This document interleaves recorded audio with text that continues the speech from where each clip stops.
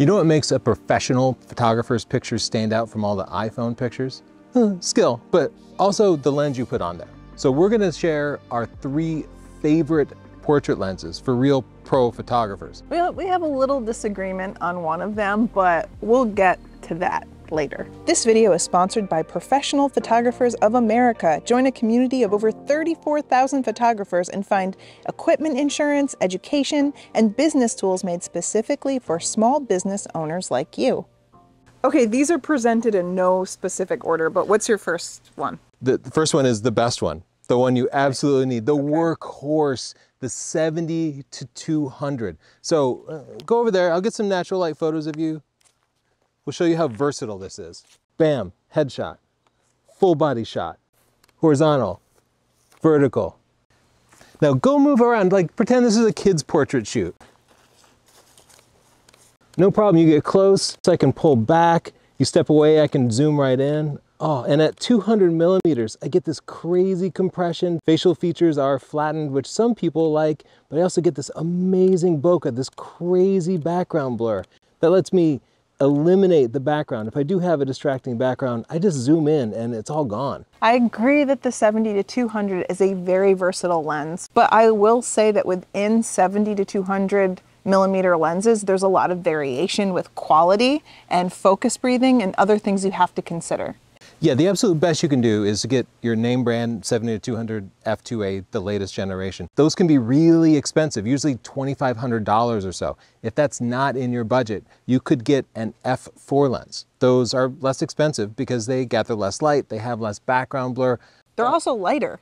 Yes, and after a long portrait session or a wedding, that can make a huge difference. You could also save money by getting a third party brand. So you wouldn't be going name brand with Sony or Nikon or Canon, but you could do something like a Tamron or a Sigma and save money and still have good quality lens. Some of those are excellent, but check the reviews on our channel because there are little intricacies that matter a lot, like the focus breathing. Some of them at 200 millimeters, when you're up close, they're more like 130 millimeters, and that can completely change the way you shoot.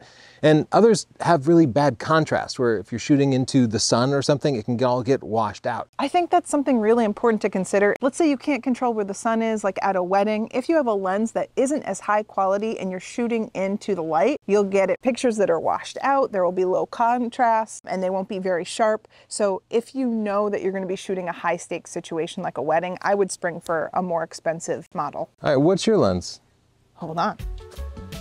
I do like the versatility of a 70 to 200, but something interesting like an 85 millimeter prime is appealing to me for a few reasons. If you're shooting a zoom lens and you're shooting from 70 to 200 millimeters, you get a lot of different looks in your photos. But if you have a portfolio with a lot of prime shots, it makes your portfolio look more consistent, especially if you have a big aperture like I do. This is an f1.2. You get kind of surreal looking background blur and it has a unique look.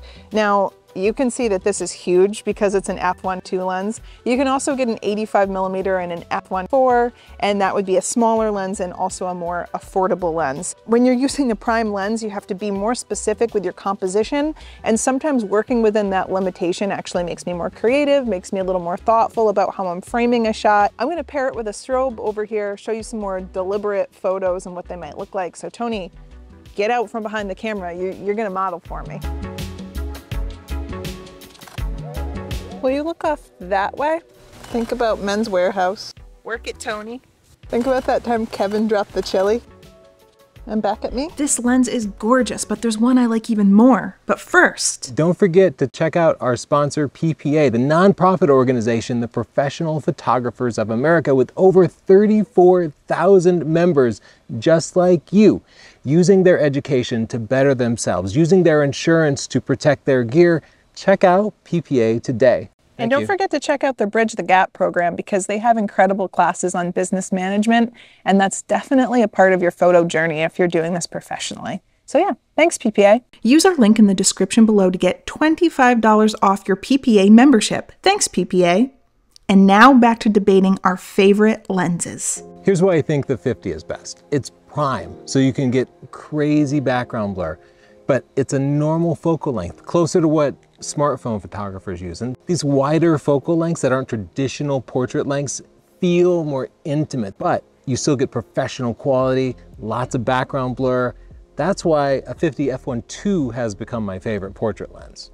I, in your defense, I also think a 50 millimeter lens is pretty close to what the human eye sees, so it does look natural, and I think that it's a flattering focal length, uh, a good in between. But my favorite lens is the 24 to 70, specifically an f2.8. First of all, it's versatile like we talked about with the 70 to 200, but you're not getting that extreme reach and you're getting a focal length we haven't covered with going way wider with 24 millimeters. And I know that traditionally, and especially in old school photography, that wasn't considered a portrait lens, but more and more that's becoming a more modern focal length because it feels casual, it feels more intimate, and it feels more candid.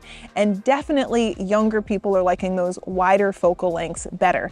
You can get that 24 millimeter look fit more of someone's body in the frame, fit more people in the frame, but also because it's a zoom, you can zoom in and get the 70 millimeters, which is enough compression to have beautiful background blur and look professional and interesting. Let me also say that you're mentioning that the 50 millimeters of prime. I like primes, that's why I like the 85 millimeter. It forces you to work within one focal length, but it doesn't mean that it's a sharper lens anymore because the 24 to 70 that I have here, which is a Sony G Master, is incredibly sharp, high contrast, low junkified. You know what I mean by junkified? No. Nobody does because I just made it up.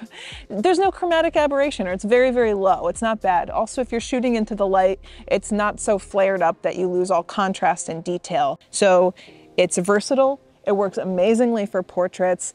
It's also versatile in every other application. And this has got to be like my number one go-to lens for not just portraits, for but everything.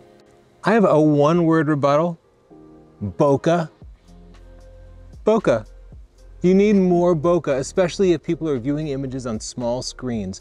The bokeh you get from a 24 to 70 f2.8 just isn't enough to really say this was taken with something better than a smartphone. But you see it, you feel it with the 50 f1.2 especially. That's why I appreciate it. And if you can't afford a 50 f1.2, then you could get $150 50 f1.8 and that, even for a beginning professional photographer, that separates you from all the smartphone photographers. Well, I don't think that we really need to compete on that front because I do agree I like a lens that has an amazingly shallow depth of field because it looks just so surreal. It's very interesting. But f2.8 is provides plenty of bokeh, especially at 70 millimeters. Look at these pictures here. They look great. The bokeh is beautiful. But it could have more bokeh. I can do that in post. Watch this. You just lost. In the comments down below, tell us your favorite portrait lens. Remember to click the link in the description to get $25 off your PPA membership. Thank you, PPA. And thank you to you. Bye.